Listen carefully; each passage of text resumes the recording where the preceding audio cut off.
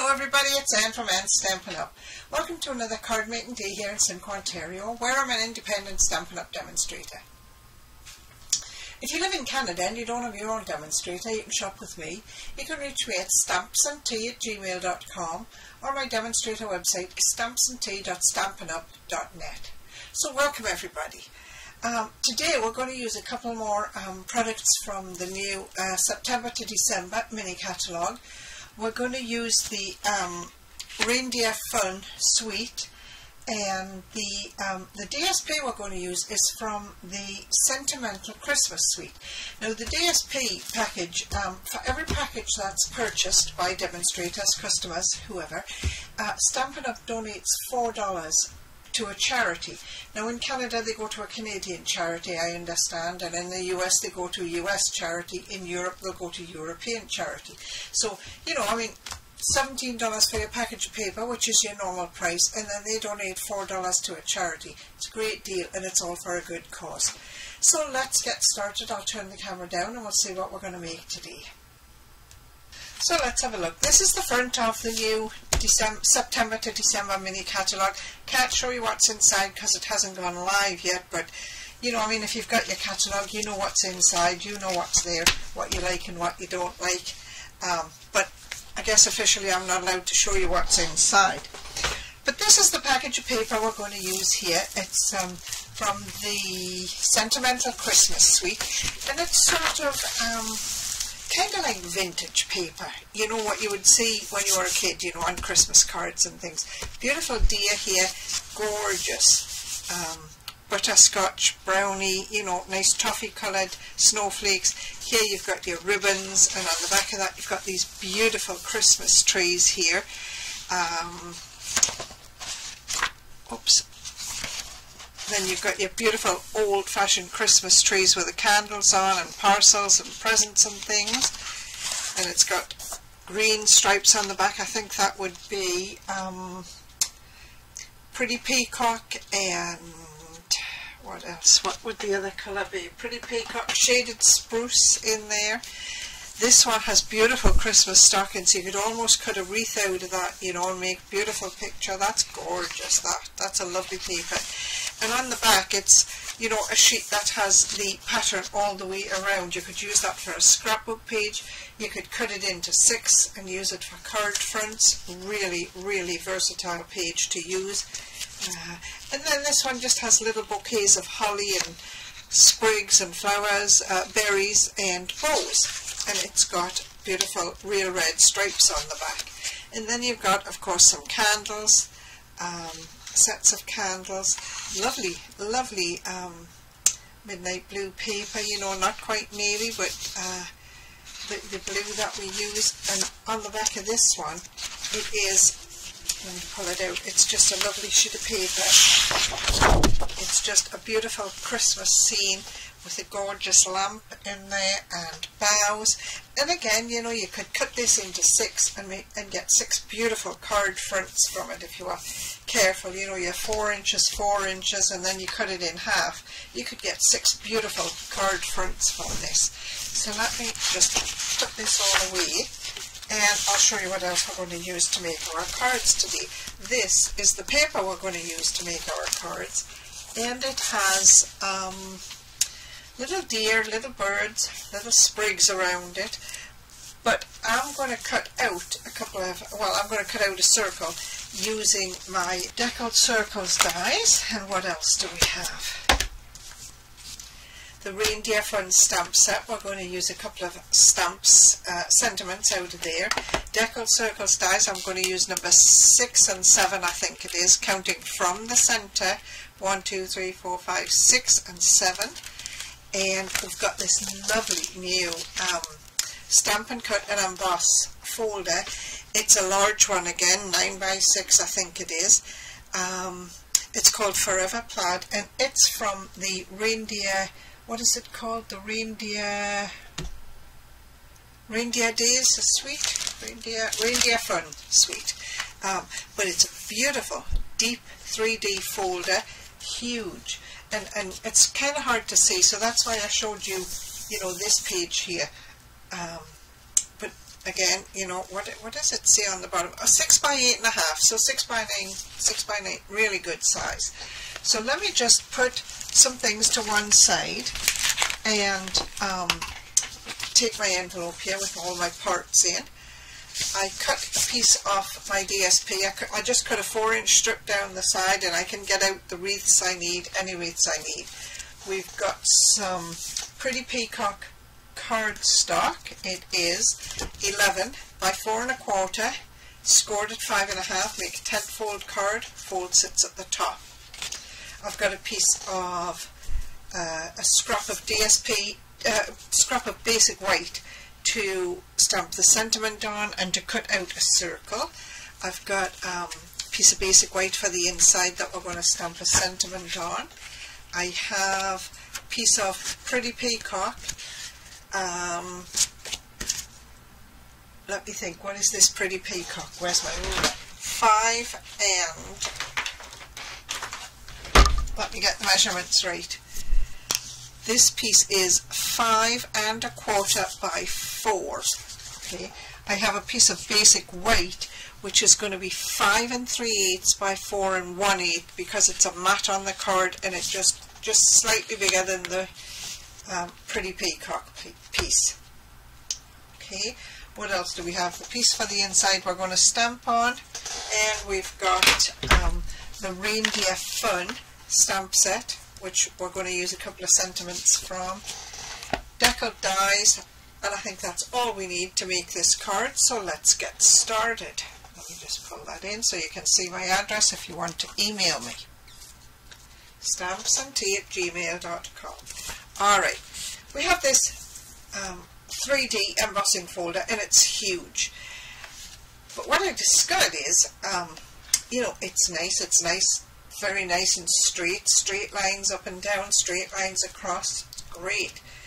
But you got to be a rebel sometimes, so I'm going to put my card in here like that. Corner, right, right off, just right, the corners are right to the edges of the card. And I'm going to take that to the um, Stampin' Cut and Emboss machine and I'm going to emboss it just like that on that angle. I think what we're going to do is trim this piece of DSP down a little bit so that we can get both pieces through the big shot at the same time. Now when I say both pieces, I mean um, my white piece that is a backing and this patterned piece. I don't mean get the embossing folder through at the same time. Let's have a look. What have we got down here? We could also do that piece if we wanted to. So we're going to go with this big piece here. Now I'm just going to take this down so that I know where I am. Uh, not, not know where I am, but so that I know what I'm cutting off. Let's get some branches in there. A little bird. I'll just tape that down. And we'll move this over and we'll trim this off. There. Swing it around.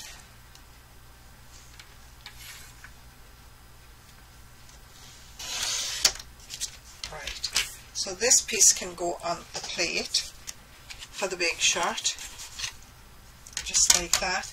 And then this piece can go on the bottom. I could trim this one down as well. Put this on here.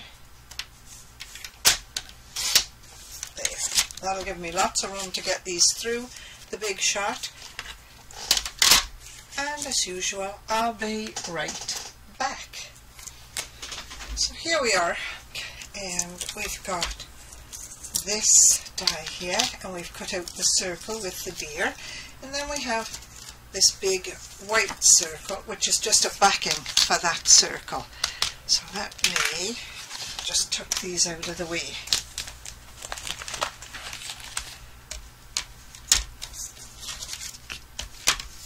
Put that out of the way and then we'll see. Let me move this Right, and then we've got the embossing folder which we embossed on an angle. And there it is. You can use it this way with the embossing coming up or you can use it with, what's the word, the embossing indented, indented I guess you could call it. It's your choice. It looks great both ways. I think I'm going to use it this way. So that's that embossing folder. We need, um, let's have a look, we need a foam mat. We need some stamps. We've got two stamps here. One says Merry Christmas, the other says May all your days be full of cheer. And we're going to use um, Pretty Peacock ink because that matches the card base. There we go. Let me just get that open. Right, what do I want to do first? I need the part that is for my inside, which is this. I just put a little eye on the, on the back. That's why I'm looking to see which piece is which because my measurements on my pieces are so close to D. And I've got a little strip there for a sentiment for the inside. Okay, so we've got Merry Christmas for the inside. No, sorry, Merry Christmas is going to go on the front.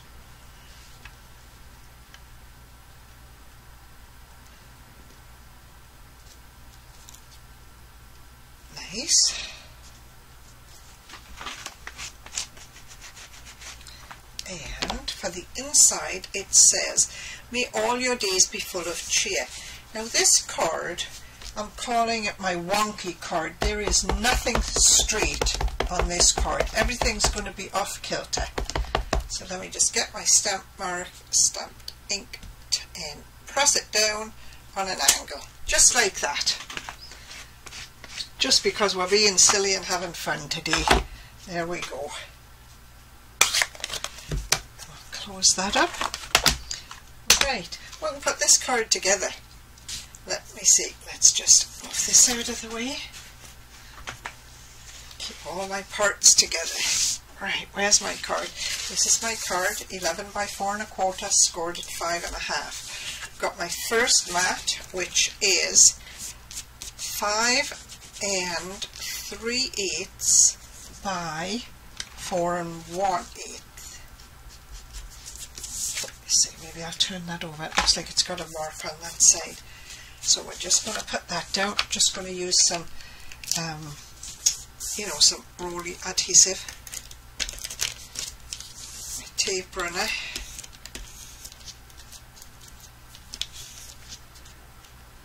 which appears to have run out of tape just when I need it. Yep. I've got another one. Yeah, there's another one.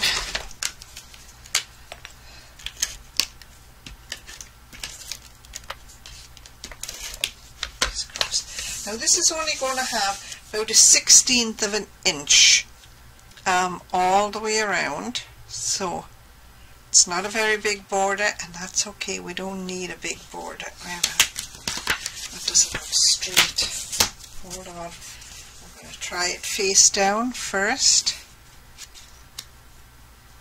Yeah, it's going to be straight. It's just me. So let's get it straight. There. And there. That'll do. Okay, so then we have a beautiful mat which we embossed and I think I'm going to use it this way okay doesn't matter which way you use it. Just be careful when you're putting your adhesive down because I did have um, when I made my sample I think I pressed too hard on my adhesive and my adhesive came uh, it came up. My, my I lifted a piece of card now I missed that corner there. So we'll just put some adhesive in the corner Right. Let's get a little more on here. Make sure it stays down. There, that should do.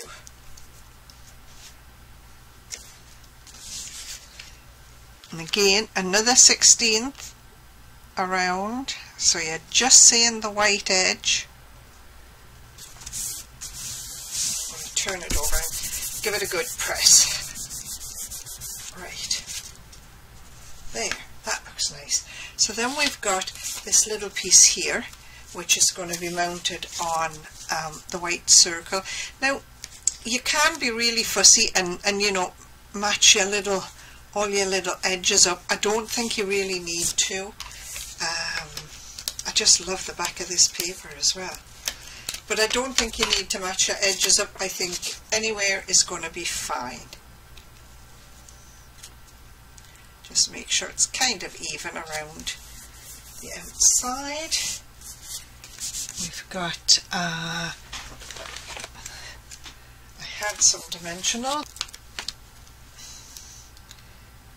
Because this card has nothing straight on it, we're going to put this on an angle like that, which is most unusual I think, but that's what we're going to do. It's going to go about there. Uh, make sure I've got the card so that it opens the right way. Yes. So there's my, uh, what would you call it, focal point? My focal point. I have um, this piece for the inside, which might as well go in now.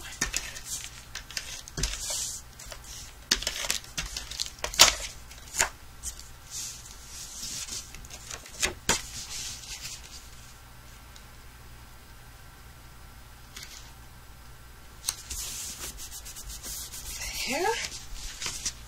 And we need a sentiment for the front trim this down to about, I think, 3 eighths of an inch is what I decided when I made my center, my, my sample.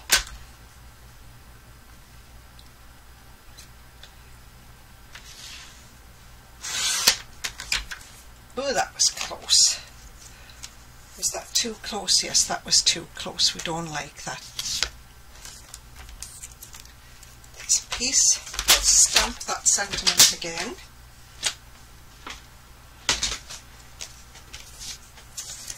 Which one is it? It's this one that says Merry Christmas.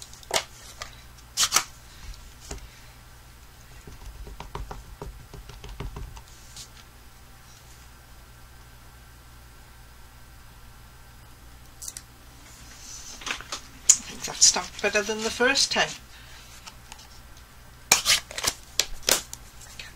This. Now, let's try and trim this again without making a big mess. So where am I? 4 eighths, 3 eighths. I think I'm just going to eyeball this. I'm not going to measure. I'm just going to trim it. Yep, that looks alright. I think we'll trim the ends a little bit because we don't want it too long too, too long. We'll give it just about a quarter inch maybe past the letters.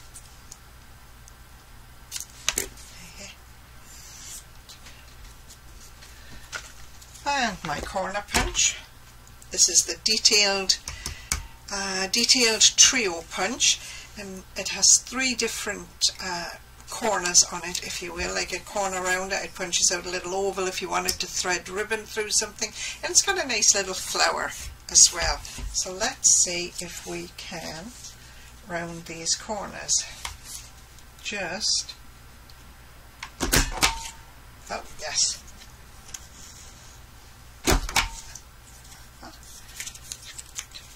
do the same again.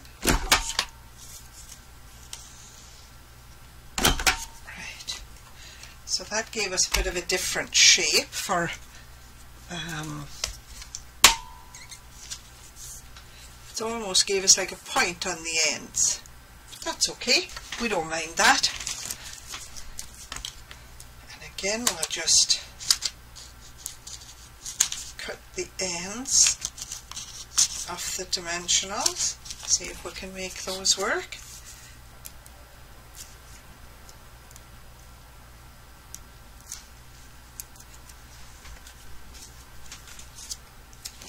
this on the front of the card.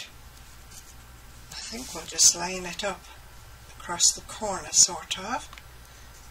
Middle of there, let's see if we can make it even. There's nothing even about this card. And then we've got a bow maker and we've got some uh, red and white twine which goes with the set as well kind of hard to see. Nice red and white Christmas twine. I'm going to take about 24 inches, I think. And I'm going to make it into, I'm going to, I'm going to put it into three even pieces. I've got more than I need there, but three even pieces. And I've got my bow maker out. Don't really need the bow maker, but we've got it. I'll keep that for another day. And I'm just going to quickly make a bow, wrap it round the posts, cross my hands over, tuck this one through. And don't pull it too tight because when you pull it too tight, you pull the two posts together. You see, you can, you can pull them together. We don't want them to be too tight. We just want them to sit there nicely, give us a nice bow. Let it relax for a second and then pull the knot tight. There. And we've got a lovely little bow to go on the card. And then you just pick which side you like the best. Give it a little tug to, to tighten it up. Hold your threads together, all your ends, and trim it off. There. And I'm just going to pop that on a glue dot.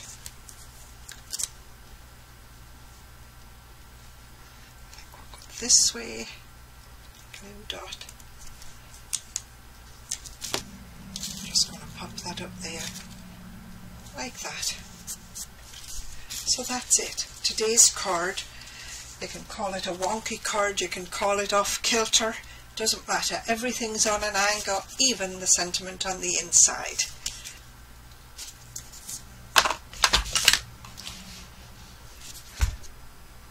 There it is, that's today's card. It's all wonky, everything's on an angle. I don't know what else to call it, I'm calling it a wonky card. Um, quick, simple, just using little bits from a couple of different stamp sets. Makes a beautiful card. Thanks for watching everybody. Talk to you all soon. See you next week. Bye bye.